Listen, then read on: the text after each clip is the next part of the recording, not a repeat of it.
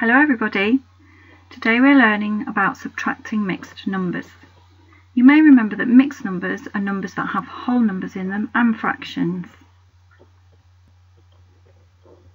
Here you can see we have some mixed numbers. Here is the whole number and here is the fraction. Whole number, fraction. Now this calculation is not yet ready for subtracting. Do you know why not?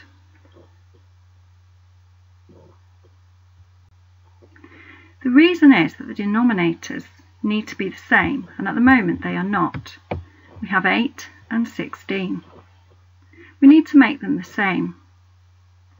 Remember that when you find equivalent fractions, whatever you do to the denominator, you must do the same to the numerator to match.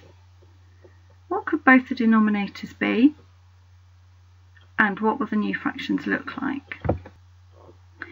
We could make both of our denominators 16.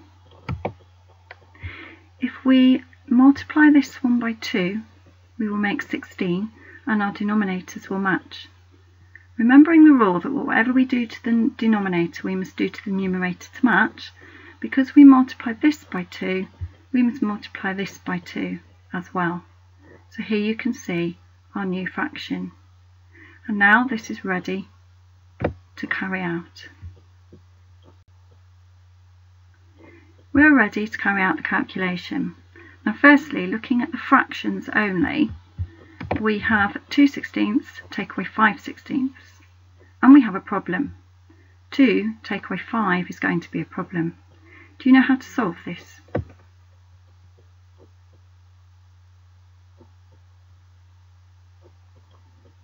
What we will do is we will borrow one of these and move it across here to help us a little bit like when you do column subtraction. But we need to think really carefully what we're actually moving across because we're working with fractions. Because we're working in sixteenths, when we move one whole one across, we're actually moving 16 sixteenths across because 16 sixteenths, 16 out of 16 is one whole one. So here we go. We're going to move one of these across, which is 16 sixteenths. And because we had two sixteenths here already, we now have 18 sixteenths. Because we've moved this across to help us, we now have four left here. We've moved 16 sixteenths, we've moved one whole one.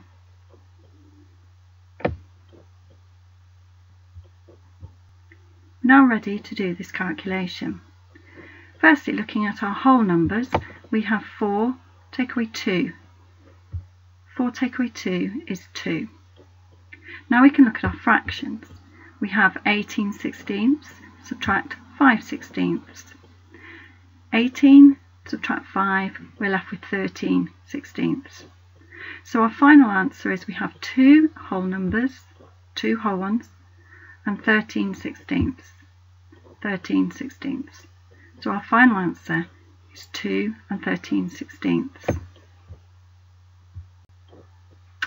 Something to think about is that if your final answer includes an improper fraction, which is where the numerator is larger than the denominator, for example, 8 fifths, you need to think about how many whole ones you have and rewrite the number.